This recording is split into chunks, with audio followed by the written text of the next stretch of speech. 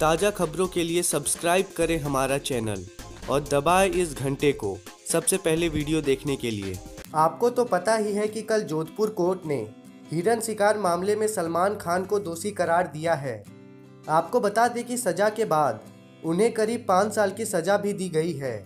लेकिन इसी बीच बॉलीवुड की एक्ट्रेस सलमान को जेल होने से काफ़ी खुश हुई हैं। एक तरफ़ सल्लू के फैंस उनके लिए दुआ मांग रहे हैं तो दूसरी तरफ़ यह एक्ट्रेस ने खुशी ज़ाहिर की है। आपको बता दें कि बॉलीवुड की सिक्स एक्स, द अनफॉरगेटेबल और डायरी ऑफ़ बटरफ्लाई जैसी फ़िल्मों में नज़र आ चुकी। अभिनेत्री सोफिया हयात सलमान के जेल जाने से सबसे ज़्यादा खुश नज़र आ रही हैं।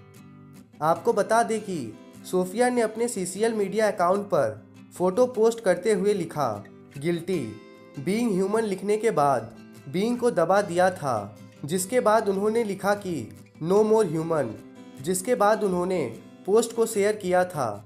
जिस फ़ोटो को आप देख सकते हो, साथ ही उन्होंने आगे लिखा कि, आखिरकार किसी को भी अपने कर्मों की सज़ा मिलती है।